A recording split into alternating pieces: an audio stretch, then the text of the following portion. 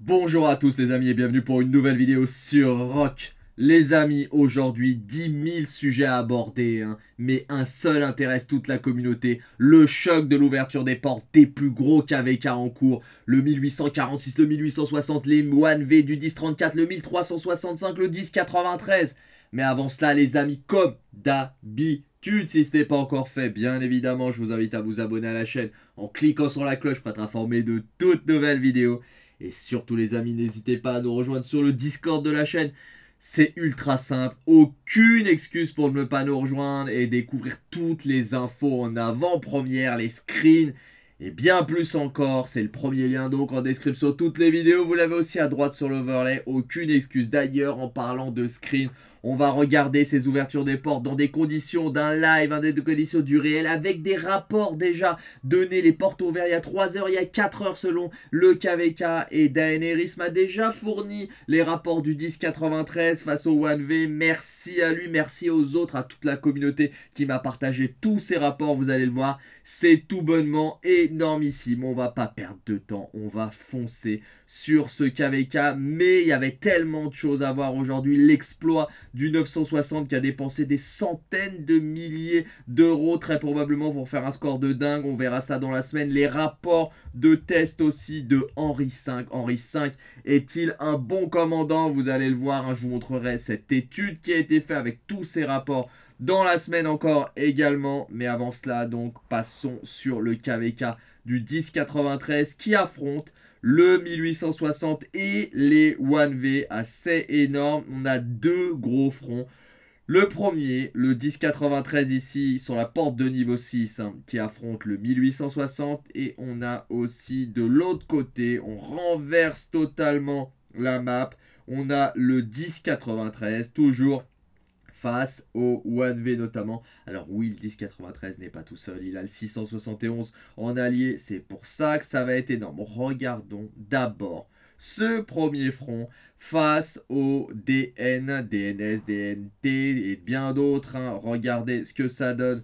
Regardez cette porte. La porte a été prise par le 1093. Hein. Le 1093 avance énorme. 1093. Alors le 1093, on le sait, hein. il rigole pas. Ça lag de ouf, autant vous le dire. Moi, là, ça va, mais à l'ouverture, ça laguait vraiment, vraiment de dingue. Hein. On regardait, on retrouve pas mal de Saladin. Je vous le disais dans la vidéo d'hier, un Saladin, ça reste un excellent commandant. Hein. Vraiment, un très, très bon commandant. Si vous voulez monter un commandant dès le début du jeu, vous pouvez miser sur Saladin en cavalerie. On retrouve pas mal de Scipion. Je pourrais enlever d'ailleurs les graphismes simplifiés, ça va peut-être ramer un peu plus. Chandra, Guan, franchement, on retrouve tout Xian Yu, le roi du chocolat. je, vais, désactiver peut-être. on va laisser comme ça.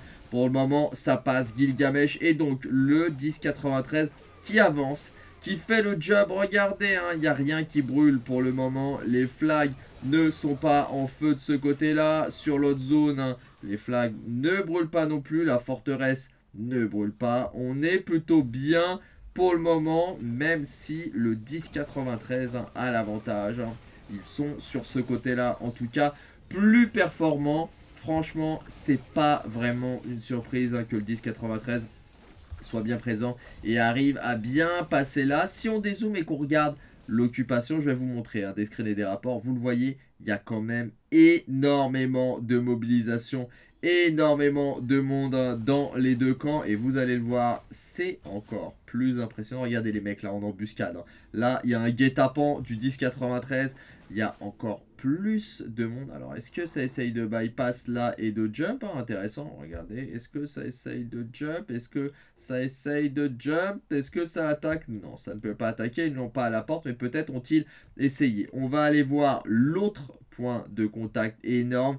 Face au 1V, on va également voir des rapports, hein, justement, les 1V face au 1093. Alors là, ça rigole beaucoup moins. On est en ordre de marche. Et le 1093 hein, a également réussi à prendre cette porte dans un premier temps. Mais là, vous le voyez, ça ne passe pas. c'est pas la même. Alors déjà au niveau de l'occupation, ça brûle les yeux. Regardez comme ça là. Alors je vais simplifier les graphismes. Regardez au niveau de l'occupation. Et je vais vous montrer un petit screen hein, de l'ouverture.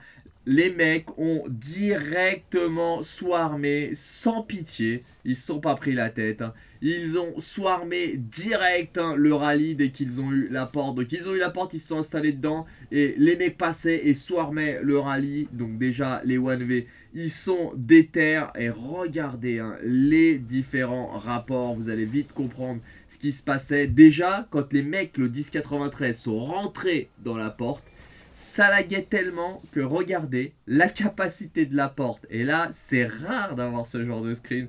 J'en ai rarement vu. C'est l'un des premiers que je vois d'ailleurs. Ça laguait tellement que regardez la porte. Il y a 3 575 985 joueurs dedans, troupes dedans, pour une tota-, un total de 3 millions. Le lag a permis à, au 1093 de rentrer plus de troupes que autorisé normalement. Ça, c'est pas mal. Merci Lilith.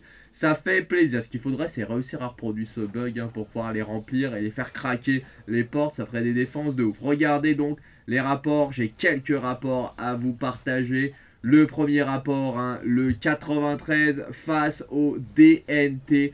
Un rallye sur la porte de justement Henri V, Nabucodonosor, face à notre ami Zenobia et Flavius Aetius. Alors, je pense là, vu le ratio, qu'il y a eu évidemment du soir ou du contre-rallye sur notre ami Henri V. Parce que moins 8,7 millions d'un côté et moins 25,1 millions d'autres, c'est un rapport de x4 et x3 en mort. Franchement, j'ai plein de rapports hein, d'Henri V que je vais vous montrer. Et là, c'est pas possible. Donc forcément, il y a soit du Swarm, soit le mec Brut Squad, qui est un rallye leader du 1860, est à poil, ce que je doute, ou il n'a pas les techs au max. Franchement, j'ai un gros doute là-dessus. Hein. Donc à mon avis, il y avait du contre-rallye ou du swarm, parce que sinon, on n'aurait pas un ratio comme ça aussi éclaté en faveur de Zenobia, Flavius, Aetius, même, même si Flavius est tout bonnement énorme. On va regarder donc un autre rapport. On a aussi le KV4 du 1846 allez voir. Regardons donc d'autres rapports. Là, c'est un rallye qui s'est fait tout de suite. 5-10 minutes après l'ouverture, un, rallye justement, un Gilgamesh qui va attaquer un Zenobia. C'est un rallye plutôt court, hein. c'est un rallye a duré une dizaine de minutes, mais malgré tout, hein, en 10 minutes, hein, on a eu du pétage de bouche, on a eu 1,7 million de morts d'un côté, du côté de Zenobia Aetius. De l'autre côté, Gilgamesh, Henri V, on a eu 28,6 millions de pertes pour pratiquement 1 million et demi de portes. Donc un rapport à la faveur de Zenobia Aetius. Là, on est sur le côté des 1V qui ont attaqué la porte. Alors, les 1v, il n'y a pas de doute. Hein. Le mec, tout est au max. Au max du max. Et de l'autre côté, hein, en défense aussi, ça devait être au max. Donc, Gilgamesh hein, et Henri V n'a pas réussi à péter la bouche à Zenobia Flavius. Encore une fois, ne vous fiez pas à ces rapports pour juger Henri V. Je vous ferai une vidéo avec des stuff équivalents, des conditions équivalentes. Et vous pourrez voir si vraiment Zenobia et est plus performant que Henri V avec Gilgamesh ou Henri V avec Boadicée, etc. On continue sur les rapports, j'en ai encore deux à vous montrer. 93L face au un rallye des N-Nav. Donc on regarde défaite là pour le coup. Gilgamesh Nabucodonosor, bon on sait sans surprise, hein, Gilgamesh Nabu, même s'il a l'avantage hein, en power, il s'est fait démonter. C'est pas une réelle surprise là pour le coup.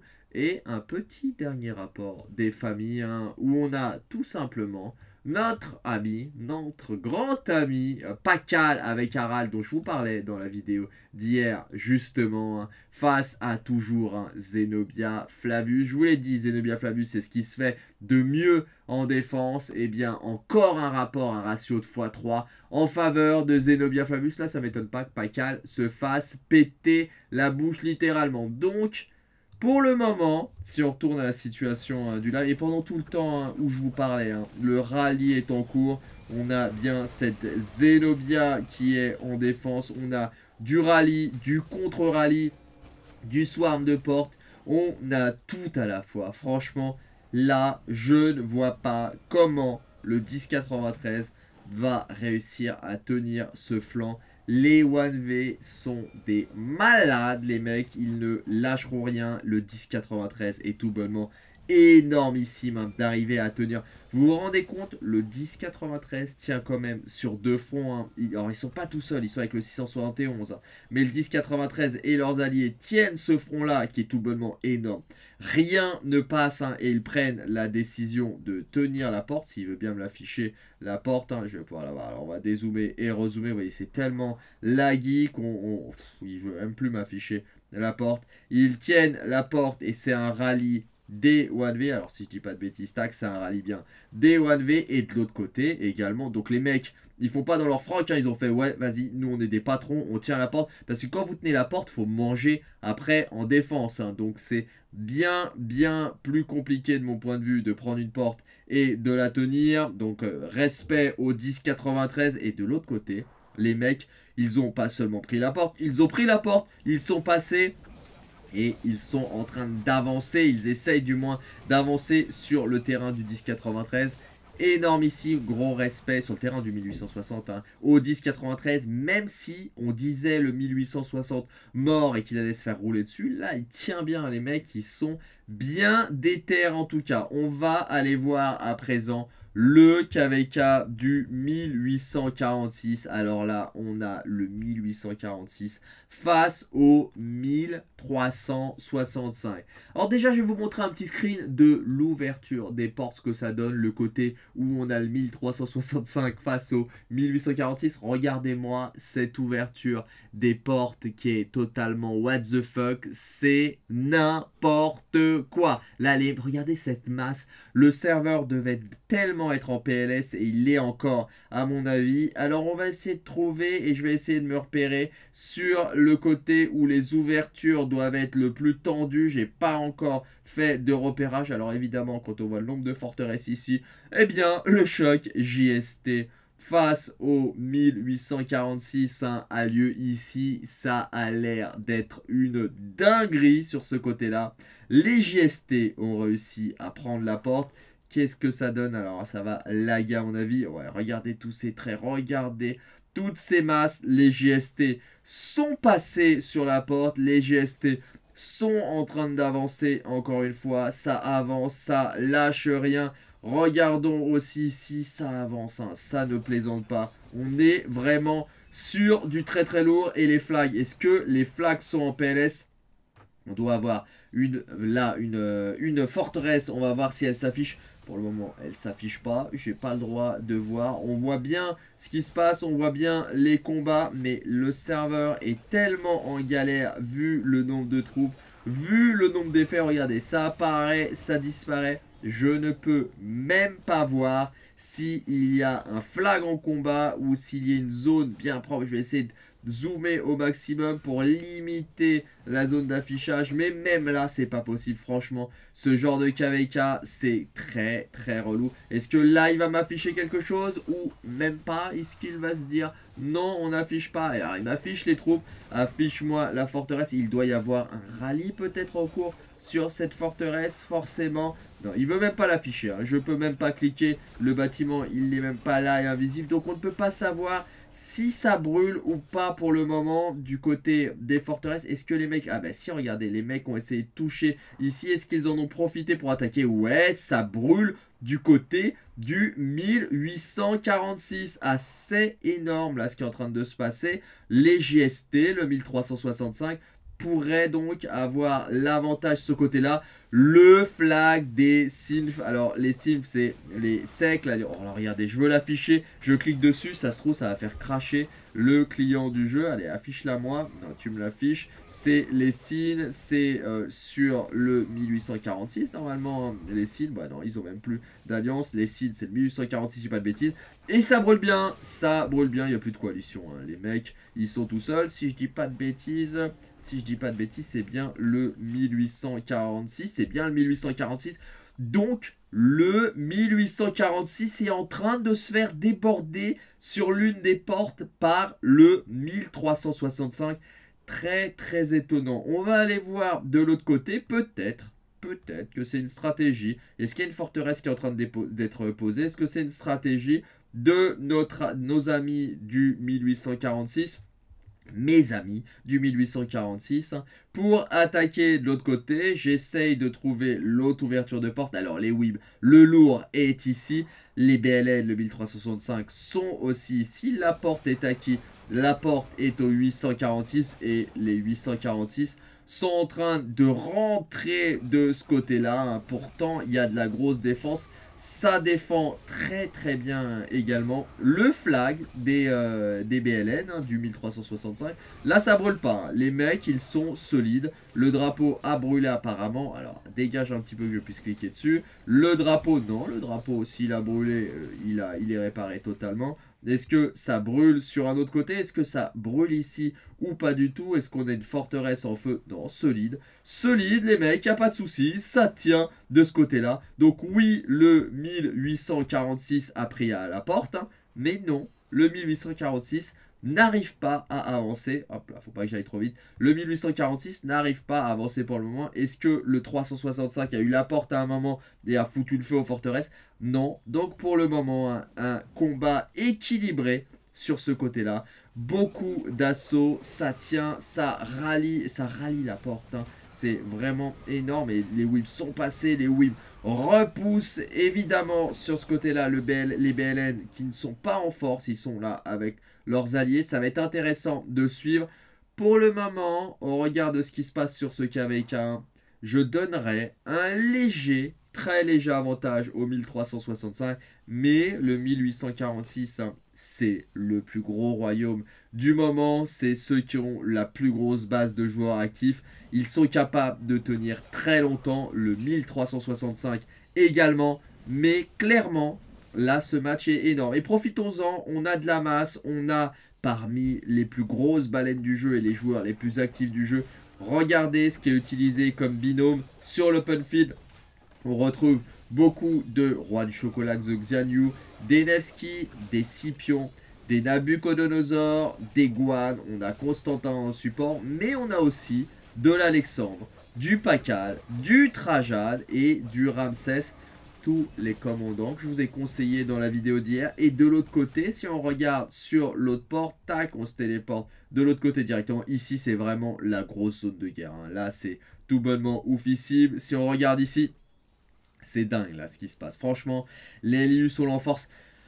Ouais, franchement, je donnais un avantage hein, parce que les flaques brûlent, mais ça, ça va pas brûler longtemps, ou peut-être pas très longtemps, mais euh, très léger avantage au GST. C'est plutôt équilibré les GST du 1365. On retrouve du Richard un peu, de l'Attila, du Saladin, beaucoup de Scipion, Exianu et de Nevsky. Donc franchement, c'est vraiment du très lourd, du très gros combat. Ça va durer des jours. On va en parler pendant des jours et je vous tiendrai informé de ce qui va se passer bien évidemment et qui va gagner ce KVK.